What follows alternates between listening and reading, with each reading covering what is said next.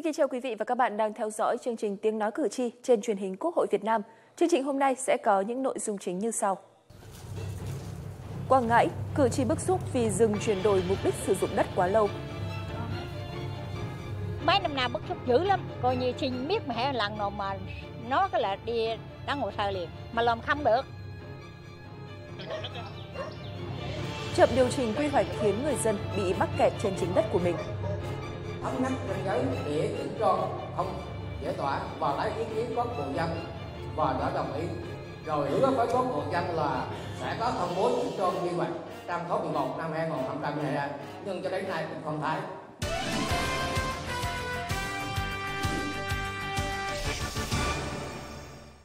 Thưa quý vị và các bạn, thời gian qua, công tác chỉ đạo lập và ban hành quy hoạch của một số bộ ngành và địa phương chưa được quan tâm đúng mức, thiếu sát sao và quyết liệt. Thời gian tham gia ý kiến nhiệm vụ lập quy hoạch và thời gian thẩm định và phê duyệt của các cơ quan kéo dài. Điều đáng nói là những tồn tại hạn chế liên quan đến công tác quy hoạch do nhiều nguyên nhân, nhưng nguyên nhân chủ quan là chủ yếu. Điều này đã gây khó khăn và làm thiệt hại đến quyền lợi chính đáng của người dân và doanh nghiệp. Sau đây sẽ là một số vụ việc nổi cộm gây bức xúc dư luận được người dân gửi về Ban dân nguyện thuộc Ủy ban Thường vụ Quốc hội cũng như Ban biên tập chương trình Tiếng Nói Cử tri trong thời gian qua.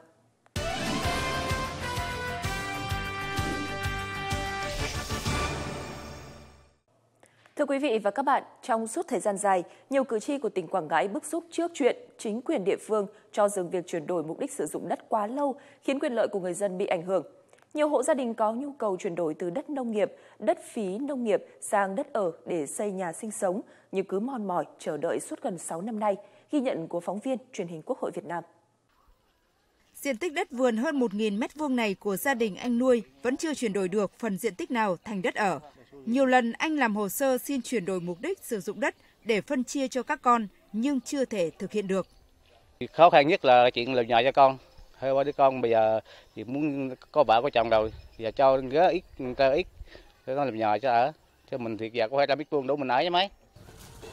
Nhà đông con, vợ chồng bà Cẩm cũng nhiều lần làm hồ sơ đề nghị địa phương chuyển đổi diện tích đất vườn sang đất ở, nhưng gần 6 năm nay, gia đình bà vẫn phải chờ đợi. Mấy năm nay bức xúc dữ lắm. Coi như xin biết mà lần nào mà nó cái là đi đăng hồ sơ liền mà làm không được. Trong mang trong mang bốn năm năm nay là trong mang dữ lắm mà làm không được. Không thể chuyển đổi mục đích sử dụng đất. Nhiều hộ gia đình như bà Lê đã xây nhà trên đất nông nghiệp. Mặc dù biết là sẽ bị phạt thế nhưng họ vẫn chấp nhận vì không còn cách nào khác.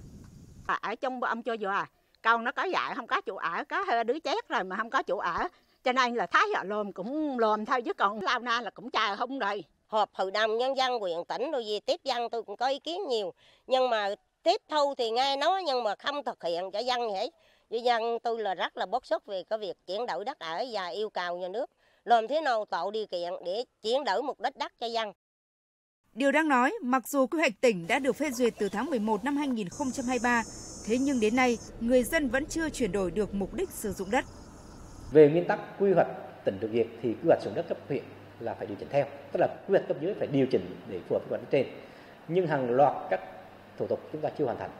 Mặc dù là tỉnh được duyệt nhưng mà kế hoạch chưa có và hiện nay, kế hoạch sử dụng đất 5 năm cũng chưa được chính phủ phê duyệt. Nếu như các bước này xong, thì Sở Nông trường sẽ thẩm định ngay việc điều chỉnh quy hoạch sử dụng đất cấp huyện trong thời gian không quá 60 ngày để làm cơ sở triển khai thực hiện. Hiện nay, tỉnh Quảng Ngãi vẫn chờ chính phủ phê duyệt kế hoạch thực hiện quy hoạch tỉnh và kế hoạch sử dụng đất 5 năm từ năm 2021 đến năm 2025 để tỉnh Quảng Ngãi làm cơ sở phê duyệt điều chỉnh quy hoạch sử dụng đất đến năm 2030 cấp huyện thì mới cho chuyển đổi mục đích sử dụng đất trở lại. Việc chậm trễ này đang gây nhiều khó khăn bất lợi cho người dân. Xây dựng nhà cửa để đảm bảo an cư lạc nghiệp là điều kiện thiết yếu để đảm bảo chất lượng đời sống của người dân. Việc chậm trễ trong việc chuyển đổi mục đích sử dụng đất cho người dân trong suốt thời gian qua, dù là bất kỳ lý do gì, thì trách nhiệm trước tiên vẫn thuộc về các cơ quan có thẩm quyền tỉnh Quảng Ngãi.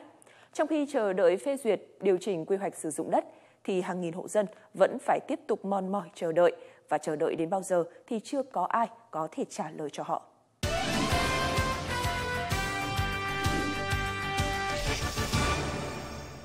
Tiếng nói cử tri, tiếng nói vì lợi ích của nhân dân cùng truyền hình Quốc hội Việt Nam đi đến tận cùng của sự việc. Hãy liên hệ với chúng tôi theo số điện thoại 0862 65 65 65 hoặc qua địa chỉ tiếng nói cử tri truyền hình quốc hội a gmail.com Thưa quý vị, tại Đà Nẵng, nhiều trường hợp người dân nằm trong vùng dự án treo nên không thể xây sửa nhà. Tuy nhiên, lại đang có những hộ dân dù dự án đã hoàn thành hàng chục năm, vẫn mắc kẹt trên chính mặt đất của mình, không thể thực hiện các quyền liên quan đến đất đai. Đó là câu chuyện của 19 hộ dân vùng dự án xử lý nước thải khu công nghiệp Hòa Cầm, huyện Cẩm Lệ. Căn nhà ông Trinh nằm xen giữa vùng dự án xử lý nước thải của khu công nghiệp Hòa Cầm và dự án mở rộng đường 7,5 m dọc sông Cẩm Lệ, đoạn qua phường Hòa Thọ Tây từ năm 2005. Sau khi hai dự án hoàn thành, ông Trinh cùng 18 hộ dân khu vực này đã mắc kẹt trên chính mảnh đất của mình. Ngoài ngoài cái mỗi lần đi tiếp ờ, xúc là cái gì là ờ, bà con ý kiến này, cô vợ là thì cũng kêu đi chờ coi như là ừ, trình lên ý kiến lên lãnh đạo cấp trên để rồi là coi như là, là sẽ công bố cho dân đó rồi cứ lần nào này lần nào vậy. Thành giờ cũng nguyện ẩn dân là đó là coi như cũng trong cho cái nhà nước coi như là có cái vạch rõ để cho bà con họ làm lại sổ sách rồi bởi vì coi như cái tài người dân ở đây là nhờ sống ở lâu rồi. Sau gần 20 năm, những lần kiến nghị lên các cấp chính quyền của 19 hộ dân nơi đây là không đếm xuể. Có những gia đình bị mất bìa đỏ đã 3 năm cũng không được cấp lại sổ mới vì phải chờ công bố điều chỉnh quy hoạch, quyền lợi không thể được đảm bảo. Thì làm thế nào để tranh nhà nước các đất cho phép cho, cho dân rõ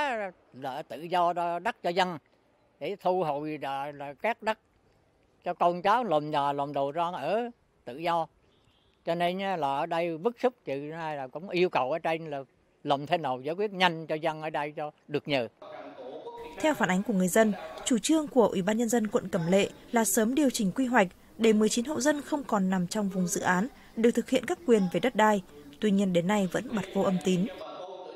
Năm 2022, Ủy ban nhân dân phường Hòa Thọ Tây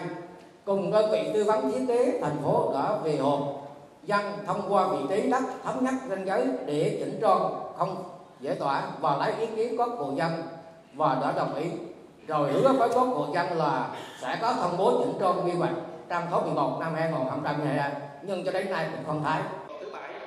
Trả lời kiến nghị của cử tri, Chủ tịch Ủy ban nhân dân quận Cẩm Lệ cho biết, quận đang phối hợp với Sở Xây dựng sẽ hoàn thành phê duyệt quyết định nhiệm vụ quy hoạch trong quý 3 năm nay.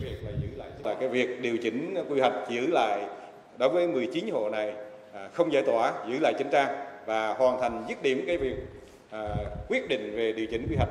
trong quý 3 năm 2024 là cái thời hạn cuối cùng.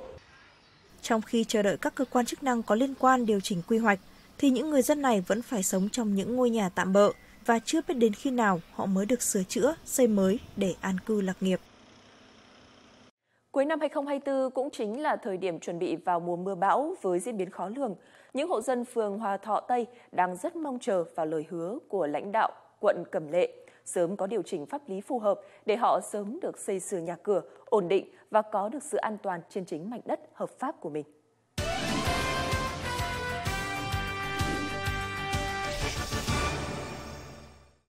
Trong tháng 7 năm 2024, các cơ quan của Quốc hội, đoàn đại biểu Quốc hội đã tiếp 422 lượt người đến khiếu nại, tố cáo kiến nghị, phản ánh về 417 vụ việc và có 20 lượt đoàn đông người. Qua tiếp công dân đã ban hành văn bản chuyển đơn của công dân đến cơ quan có thẩm quyền giải quyết đối với 53 vụ việc, hướng dẫn bằng văn bản 15 vụ việc, đã giải thích, hướng dẫn thuyết phục công dân chấp hành đúng quy định của pháp luật đối với 349 vụ việc. Qua nghiên cứu, nội dung đơn thư khiếu nại chủ yếu liên quan đến việc bồi thường, hỗ trợ tái định cư khi nhà nước thu hồi đất để thực hiện các dự án, giải quyết tranh chấp đất đai, khiếu nại quyết định hành vi của cơ quan tiến hành tố tụng, đề nghị xem xét lại bản án, quyết định đã có hiệu lực pháp luật theo thủ tục giám đốc thẩm, tái thẩm, việc tổ chức thi hành đối với bản án, quyết định đã có hiệu lực pháp luật. Trong đó có một số đơn thư của cử tri phản ánh đáng chú ý sau.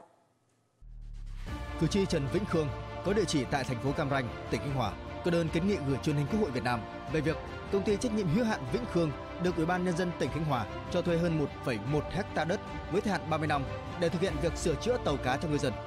Quá trình thực hiện đã tạo công an việc làm cho hơn 100 công nhân lao động. Tuy nhiên sau 13 năm hoạt động thì nhận được quyết định thu hồi đất của tỉnh Khánh Hòa để thực hiện dự án cảng cá động lực. Cử tri Trần Vĩnh Khương cho rằng việc thu hồi đất chưa đảm bảo được phương án bồi thường giải phóng mặt bằng, chưa có vị trí tái sản xuất. Hiện vị trí của công ty đang bị săn lấp mặt bằng khi các kiến nghị chưa được giải quyết dứt điểm. Do đó, kiến nghị cơ quan chức năng tỉnh Khánh Hòa xem xét xử lý vụ việc để đảm bảo hài hòa lợi ích giữa các bên liên quan.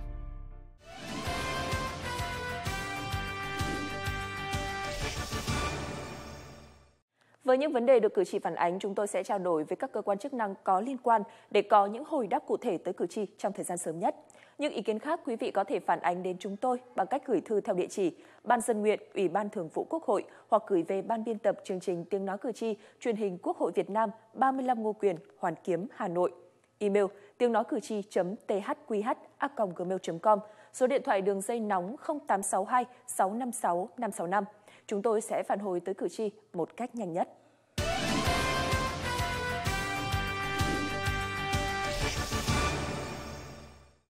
Quý vị, mới đây tại phiên họp thứ 36 của Ủy ban Thường vụ Quốc hội cho ý kiến về báo cáo công tác dân nguyện tháng 7 năm 2024, một vấn đề đáng chú ý đã được Ủy ban Thường vụ Quốc hội thảo luận và đề nghị làm rõ, đó là tình trạng công dân đến trụ sở tiếp công dân giảm, nhưng đến nhà các lãnh đạo có xu hướng gia tăng.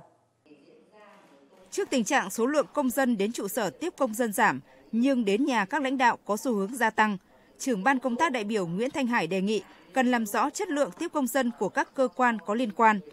Từ kinh nghiệm ở địa phương khi còn làm bí thư tỉnh ủy Thái Nguyên, bà Hải đề nghị nghiên cứu chuyển đổi số trong công tác tiếp công dân. Ở Thái Nguyên chẳng hạn thì là tôi một tháng tiếp một lần và tất cả toàn bộ cái tài liệu mà tiếp công dân bao gồm toàn bộ sơ đồ đất đai quy hoạch các quyết định vân vân là đều được số hóa và các ban ngành đoàn thể là trao đổi thảo luận trên cái nội dung mà nó ví dụ nó nó rất là rõ ràng và cái tập tài liệu nó rất là là là đầy đủ để mà nghiên cứu và có cái thảo luận trước khi tiếp công dân để biết rằng là cái vụ việc này có giải quyết được hay không, căn cứ nào để giải quyết, có nguồn lực để giải quyết hay không. Cho ý kiến về chuyển đổi số trong công tác tiếp công dân, Phó trưởng Ban Tiếp công dân Trung ương cho biết, hiện Thanh tra Chính phủ đã giao cho Ban Tiếp công dân Trung ương phối hợp triển khai tiếp công dân trực tuyến và bước đầu đã cho kết quả tích cực. Lãnh đạo Thanh tra Chính phủ cũng rất quan tâm đến cái công tác tiếp công dân trực tuyến. Và đến nay thì đã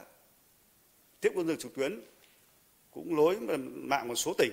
thành phố trực thuộc Trung ương và bắt đầu triển khai cái việc tiếp công dân trực tuyến. Và cũng mong rằng là cái công tác tiếp công dân trực tuyến mà làm tốt thì sẽ hạn chế được công dân các đoàn đông người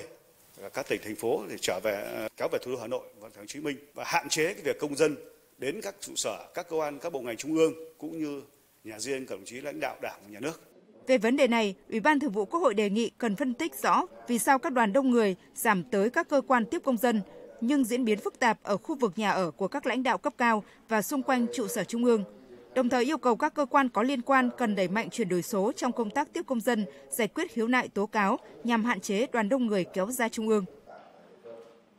Chương trình tiếng nói cử tri ngày hôm nay xin phép được khép lại tại đây. Cảm ơn quý vị đã quan tâm theo dõi. Những ý kiến của cử tri có thể phản ánh trực tiếp đến theo địa chỉ Ban dân nguyện, Ủy ban Thường vụ Quốc hội hoặc gửi về Ban biên tập chương trình tiếng nói cử tri, truyền hình Quốc hội Việt Nam 35 Ngô Quyền, Hoàn Kiếm, Hà Nội. Email tiếng nói cử tri.thqh@gmail.com, số điện thoại đường dây nóng 0862 656 565. Còn bây giờ, xin chào và hẹn gặp lại.